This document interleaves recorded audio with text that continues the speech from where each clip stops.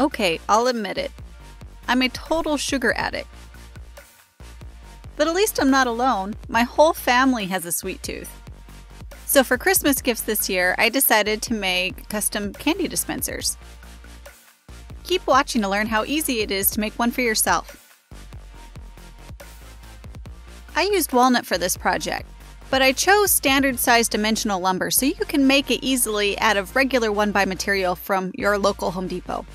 Starting with the 1x3 boards, I began to trace out a shape that would cause the candy to funnel down to the center. Then I used a jigsaw to cut the shape out. After cutting the first side piece, I used it as a template to trace onto the second 1x3, which I also cut using a jigsaw. The candy is distributed from a circle in the center of the two side boards that spins around. I used a piece of scrap to make cutting the circle a little easier. I temporarily tacked the sides and a scrap block to the 1x5 backer board using a 23 gauge pin nailer. I found the center between the sides and then used DIY circle jig and a palm router to cut out the circle. Just remember to work slowly and to take multiple shallow passes. I stopped just before cutting through the circle so I wouldn't damage the backer board behind it. I then carefully used a chisel to pry the pieces loose. While you're watching this video, give it a quick thumbs up. The one unfortunate problem of using a router to cut this circle is the 1 quarter inch wide bit made the inner circle too small to be able to use as the distributor. I cut out a second wooden circle just barely smaller than the recess between the sides. I needed to create a small notch that would grab the candy and drop it down. I used a 1 and 3 8 inch Forstner bit to drill a circle through the distributor slightly in from the outside edge. This drill bit is really handy to have around because it's the standard size for a lot of cabinet hinges. Next, I gave all the pieces a good sanding and moved on to assembly.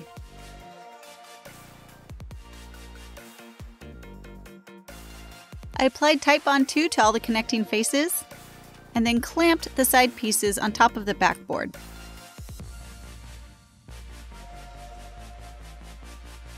Once those were dry, I moved on to the bottom and the lid. I ascribed the exact length on the boards and then used a miter saw to carefully cut them to length.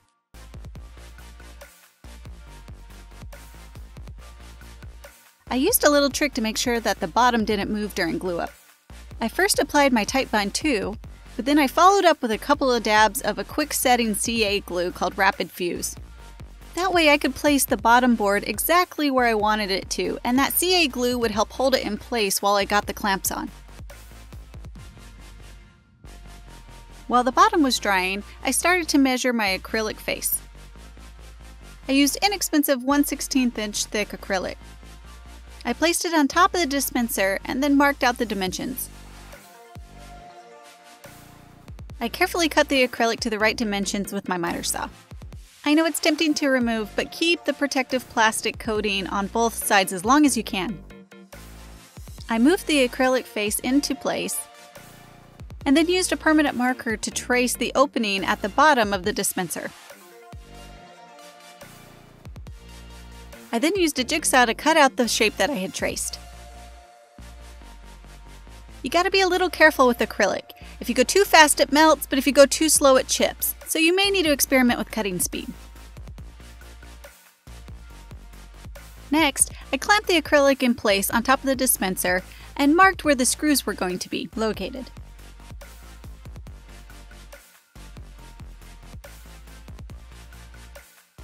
I used a 1 16th inch drill bit to drill 5 holes on each side through the acrylic and into the wood beneath. While the acrylic was still clamped in place, I found the center of the dispenser and marked that with a marker as well. I removed the acrylic and clamped it to a scrap piece of wood. I then drilled a 7 16th inch hole to accommodate a handle for the dispenser. I discovered really quickly when I went to drill the hole for the handle in the dispenser that a brad point bit was not the way to go. I quickly switched to a 3 8 inch Forstner bit. I wanted something really clean and simple for the handle, and I happen to have a little bit of scrap 3 8 inch brass rod from my brass handled cutting board left over. I filled the hole with more rapid fuse and then held the brass handle in place while it dried. Next, I tackled the hinges that would hold the lid on. First, I found the hinge's dimensions. Then I marked the top back edge of the back panel. I used a chisel to remove a recessed area about 1 8 of an inch thick. As you can see, I need a lot of practice with my chisels. The notches definitely were not perfect.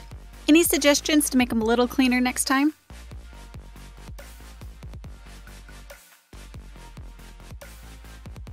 I used another little trick to align the lid with the hinges. I placed the hinges inside the notches and then added a small drop of CA glue to the top side. Then I carefully aligned the lid and pressed down.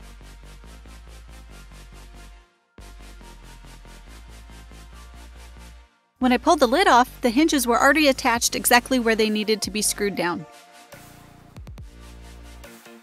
I pre-drilled and then hand drove tiny little brass screws to hold the hinges in place.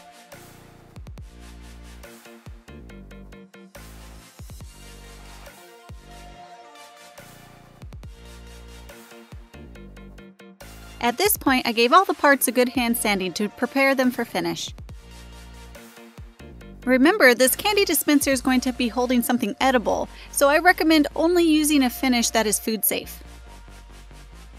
Just like I would on a cutting board, I applied two coats of mineral oil and then followed up with a coat of beeswax.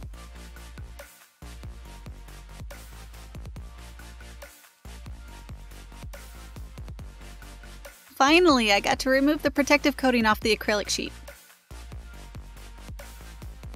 I dropped the round distributor in place and then placed the acrylic face on top. I connected the acrylic to the wood using 1 half inch brass screws driven by hand.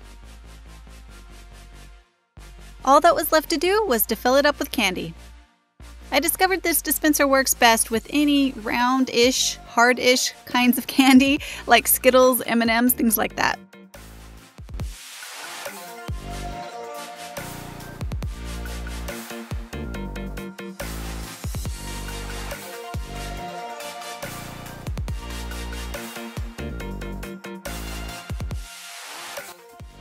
The hinges hold the lid in place pretty well, but I'm kind of thinking maybe I should add a couple of magnets to hold it shut. What do you think?